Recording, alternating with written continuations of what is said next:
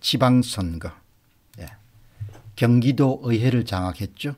부산시의회 뭐 서울시의회 다 뭘 한 겁니까 프로그램을 돌려가지고 다 사람을 뽑은 겁니다.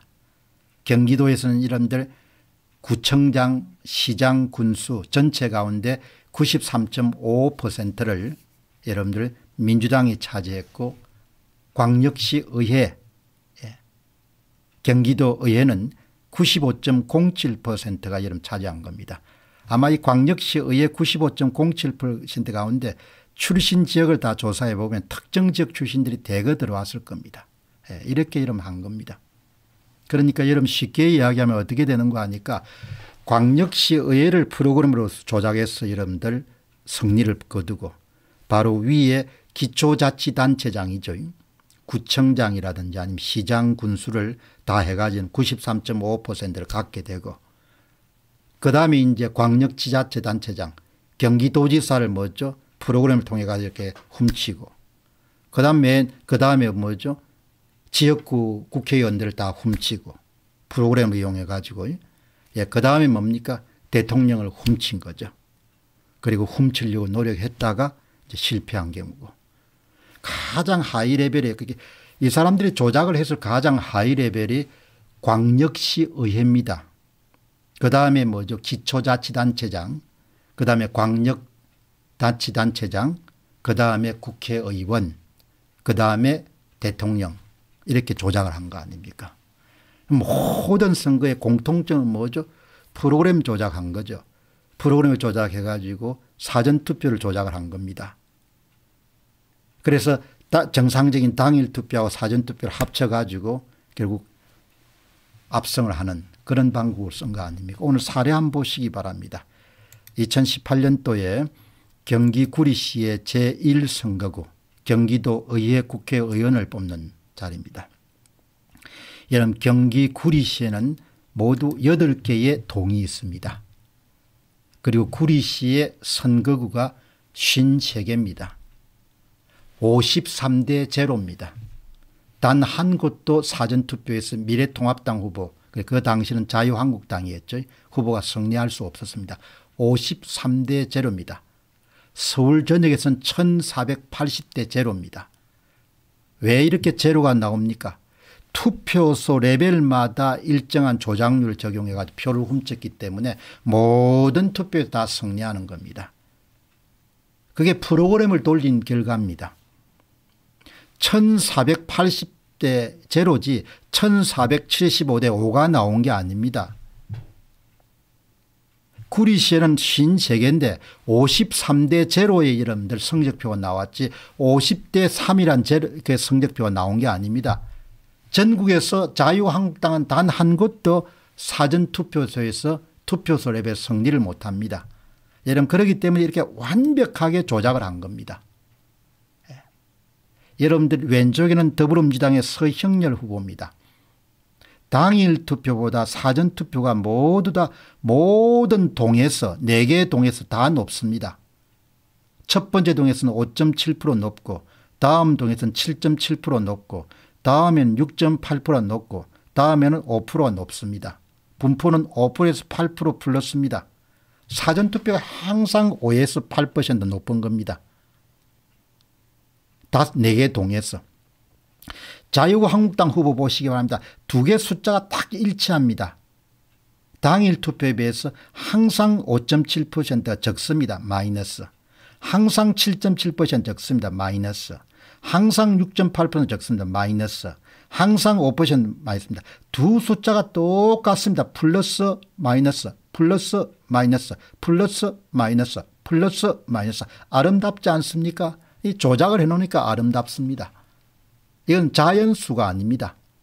무작위 수가 아니고 만들어낸 숫자입니다. 뭘 가지고 조작 프로그램을 가지고 경기도 광역시 의회에 구리시 제1선거구의 선거 결과를 조작을 한 겁니다. 이렇게 해서 여러분 누가 당선됐는가 하니까 민형열 민주당의 서형열 후보가 당선된 겁니다. 몇 프로를 조작했느냐 조사를 해보니까 나오지 않습니까 14%를 조작한 거죠 14%를 14%를 조작한 겁니다. 14% 조작했다는 것은 왼쪽에 플러스 17%를 더해주고 오른쪽에 마이너스 7%를 뺀 거죠. 사전투표를 조작. 총 조작이 7%가 된 겁니다. 이렇게 조작을 한 겁니다. 조작 프로그램을 이미 찾아냈기 때문에 당선자의 표수까지 정확하게 찾아낼 수가 있습니다. 중앙선거관리위원회는 민주당이 5600표 자유한국당이 8600표 받았다고 발표했습니다만 실제로 뭡니까 민주당은 5000표 자유한국당 9200표를 받은 거죠. 14%를 조작했습니다만은 결국은 이게 정확한 마지막이 진짜 득표수입니다. 예. 이것은 뭐죠 중앙선거관리위원회 발표한 조작된 득표수 가짜 득표수인 겁니다. 이게 다 나오는 겁니다. 예. 여러분 그렇게 해가지고 예. 데이터를 보게 되면 엉망진창이지 않습니까 데이터가 맞지 않죠. 8, 마이너스 81을 처리해야 되는 겁니다. 후보별로 표수가 중앙선거관리의 발표 표수가 많이 남습니다. 민주당은 52표가 남고 한국당은 17표가 많고 예, 그래서 이걸 합치게 되면 무효표 12표하고 합치게 되면 81표가 되죠. 82표를 처리해야 되니까 마이너스 82표라는 것을 잘못 투입 및 구분된 투표자 항목에 집어넣은 겁니다. 이렇게 모든 선거를 다 조작을 한 겁니다. 경기도 광역시의 구리시 제1선거구의 선거 결과입니다. 이게 전국에 다 나온 겁니다. 예, 다 나온 겁니다. 예. 이런 것을 보고 윤석열 대통령이 입을 다물겠다. 그거는 그야말로 뭐 온전한 정신으로 할 수 없는 일입니다. 온전한 정신으로 할 수 있는 일이 아니죠. 음. 여러분들 그러면은 구리시에는 또 투표소가 한 개 더 있습니다. 투표소가 여러분들 다른 투표소 한번 보시기 바랍니다. 이게 구리시의 제2 선거구입니다.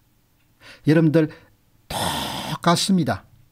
더불어민주당의 임창열 후보는 첫 번째 동에서 7.7% 플러스 자유한국당은 마이너스 7.7%두 번째 종에서 3.6% 플러스 자유한국당은 마이너스 3.6%세 번째 종에서 뭐죠? 더불어민주당은 플러스 6.8% 자유한국당 마이너스 6.8%네 번째 동 소재 투표소에서 더불어민주당은 7.4% 자유한국당은 마이너스 7.4% 조작을 했기 때문에 좌우대칭이 정확하게 일치하고 각 동별로 조작한 여름 사전투표 수가 한쪽은 플러스 한쪽은 마이너스, 마이너스로 수치까지 일치합니다. 엄청나게 조작질을 한 거죠. 음. 이게 경기도의회 구리시 제2선거구에서 발생한 겁니다. 이게 전국적인 현상입니다. 조작 프로그램을 이용해 가지고 광역시의회를 뽑은 겁니다. 광역시의회 의원들을. 그래서 서울은 110석 가운데 102석을 여러분들 민주당이 차지한 겁니다. 그 102석의 지방 출신들을 조사해 보게 되면 재미나는 일이 일어날 겁니다. 누가 제보 좀 해 주시면 보도하겠습니다. 아마 수십 퍼센트가 특정 지역 출신일 거라고요. 이렇게 나라를 그냥 도로 간 겁니다. 예. 이거를 어떻게 덮을 수 있겠습니까? 이거는 문, 이 윤석열 대통령이 대통령 직책이 아니라 보통 인간으로서 양심과 양식을 갖고 있는 그런 인간으로서 이거는 덮을 수가 있는 사안이 아닙니다. 이게 구리시 제2관내 구리시 제2선거구입니다. 예. 조금 전에 여러분 보시다시피 구리시 제1선거구가 여러분들 이렇게 된 겁니다. 예. 그래서 53개 모든 투표소에서 그러니까 1, 1선거구는 구리시 1선거구는 4개 동이 있고 그 다음에 구리시 2선거구는 또 4개 동이 있는 거죠. 그러니까 모두 합치면 8개 동입니다. 8개 동에는 동 산하의 모든 그런 투표소 숫자가 53개입니다. 53대 제로인 겁니다. 투표소 레벨마다 14%를 조작을 했기 때문에 사전투표 참가자 수의 14%를 다 빼앗았기 때문에 한 곳도 예외 없이 53개 전부가 누가 승리했습니까 더불어민주당 후보가 다 승리한 겁니다. 이런 조작을 이런 조작을 전국에 걸쳐서 한 겁니다. 전국에. 그 모든 광역시를 다 훔친 겁니다. 대구시에 의해 울산시에 의해 다 훔친 겁니다. 이렇게 여러분 상황이 발생한 겁니다. 이거를 국민들이 해결할 수 있겠냐 국민들이 나서지 않으면 해결될 가능성이 없겠죠. 그럼 공박상을 왜 하느냐 나라도 이야기를 해줘야 될 거 아닙니까 사람들이 알아야 되니까. 그러나 이 문제를 국민들이 나서 가지고 저항하지 않으면은 현재로서는 윤석열 대통령이 자발적으로 자의에 따라서 할 가능성이 없다는 겁니다. 그래서 윤석열 대통령은 경멸과 미움의 대상이 될 가능성이 엄청나게 높은 거죠. 그래서 오늘 군주론을 등용을 시킨 겁니다. 이런 문제를 대통령이 알아서 해결해 주려고 보기 때문에 우리가 표를 다 던졌는데 대통령이 이제 대통령이 되고 나니까 마음이 좀 달라졌는지 아니면 척건들에 휘둘려졌는지 대통령이 되고 나서 마음이 달라졌을 수도 있고 아 내가 훌륭한 사람으로 보여야겠다 관대하게 대해야겠다 사랑으로 대해야겠다. 군주론의 저자가 뭐라고 합니까 두려움의 대상이 되는 것과 사랑의 대상이 되는 것은 두 가지를 동시에 얻을 수 없다는 거 아닙니까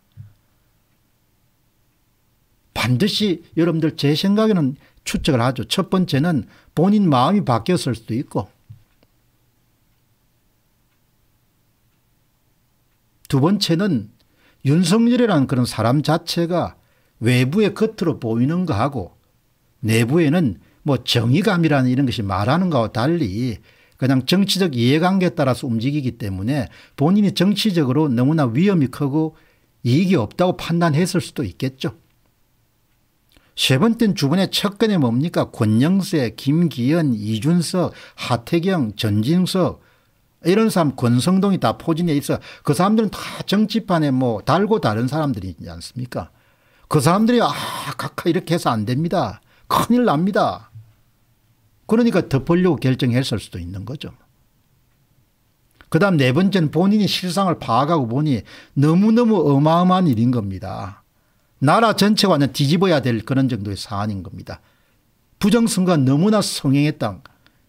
이게, 이게 보통 일이 아니다. 이렇게 해서 겁이 나서 또 덮을 수도 있겠죠. 뭐가 가장 큰 우선 요인인지 모르겠지만 결론은 뭐다? 의지가 없다는 겁니다.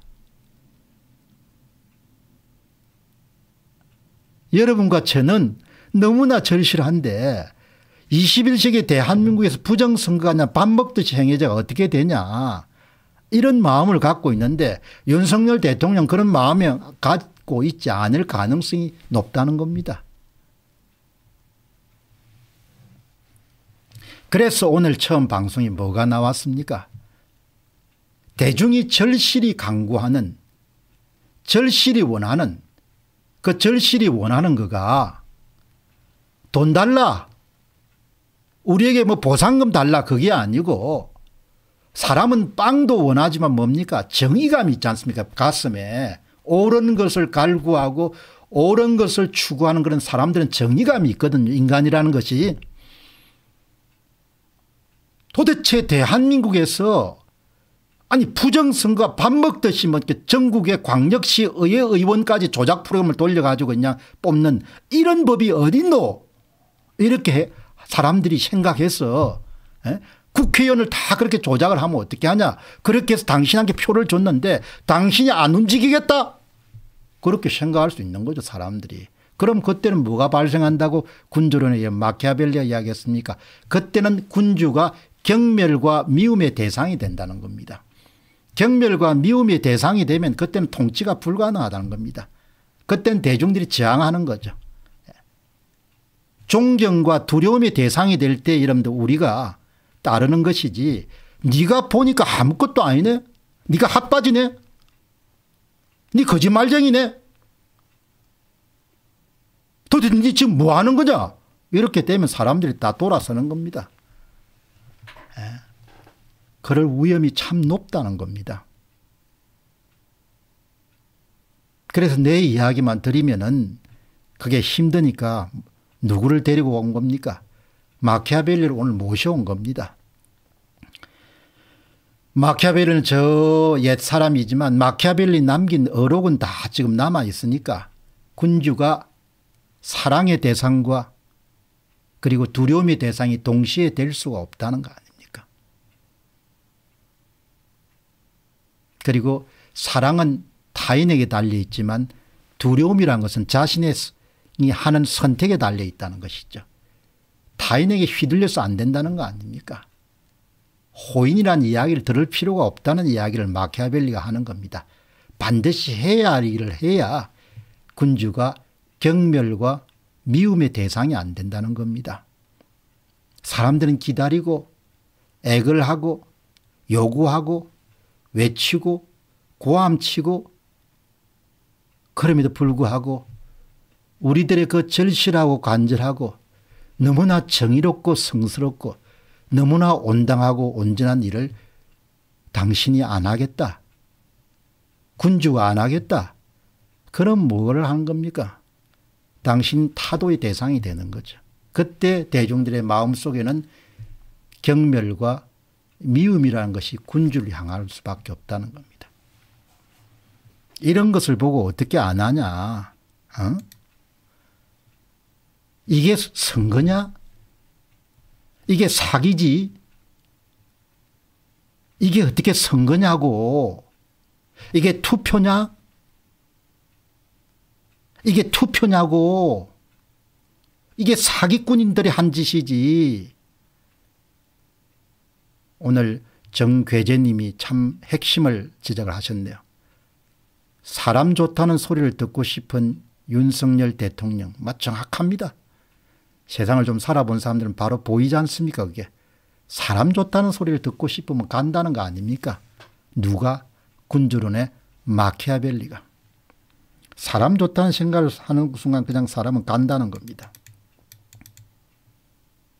자 그러면은 여러분께서는 경기도 의회를 장악하기 위해서 프로그램을 조작해 가지고 광역시 의회 의원들의 모든 선거구에 출마한 더불어민주당과 자유한국당 후보가 바른미래당 후보를 조작을 했는데 구리시에서는 14%를 조작을 해가지고 8개 투표소에서 8개 투표소를 다 조작을 해서 이제 투표 결과를 만들었는데 그럼 다른 데는 어떻습니까?